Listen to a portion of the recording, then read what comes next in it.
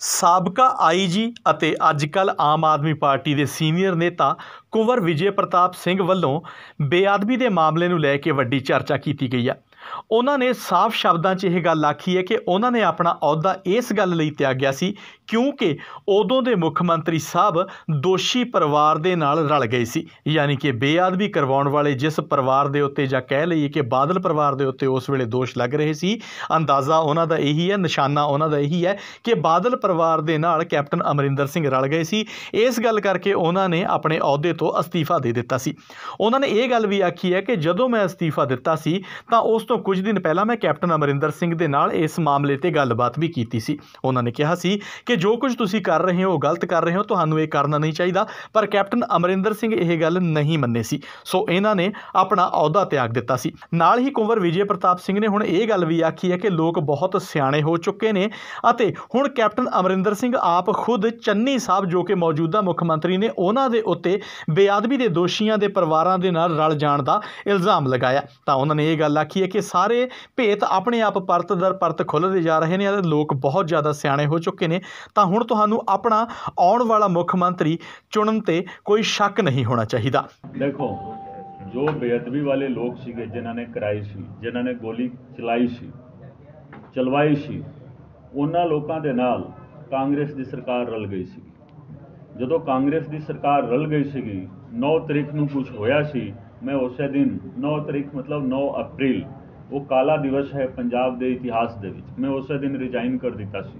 ਇਸ ਪ੍ਰੋਟੈਸਟ ਦੇ ਵਿੱਚ ਕਿ ਦੋਸ਼ੀਆਂ ਦੇ ਨਾਲ ਸਰਕਾਰ ਮਿਲ ਗਈ, ਜਿਸ ਸਰਕਾਰ ਨੇ, ਜਿਸ ਪਾਰਟੀ ਨੇ, ਜਿਸ ਲੀਡਰ ਨੇ ਵਾਅਦਾ ਕੀਤਾ ਸੀ 2017 ਦੇ ਇਲੈਕਸ਼ਨ ਦੇ ਦੌਰਾਨ ਕਿ ਅਸੀਂ ਅਸਲ ਦੋਸ਼ੀਆਂ ਨੂੰ ਫੜ ਕੇ ਅੰਦਰ ਕਰਾਂਗੇ।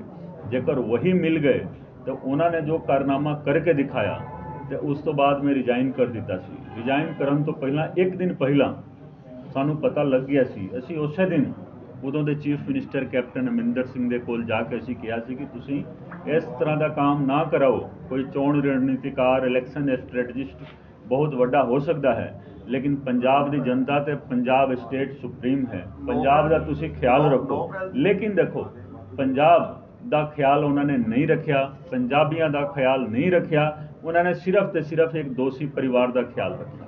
ਦੋਸ਼ੀ ਪਰਿਵਾਰ ਦੇ ਨਾਲ ਅਲਾਈਅੰਸ ਕੀਤਾ। ਅਲਾਈਅੰਸ ਕਰਕੇ ਉਹਨਾਂ ਨੇ ਜੋ ਕਰਨਾ ਸੀ ਕਰਾਇਆ, ਮੈਂ ਅਗਲੇ ਦਿਨ 9 ਤਰੀਕ ਨੂੰ ਜਦੋਂ ਇਹ ਸਾਰਾ ਕੁਝ ਹੋਇਆ, ਉਸੇ ਦਿਨ ਇਸਤੀਫਾ ਦੇ ਦਿੱਤਾ।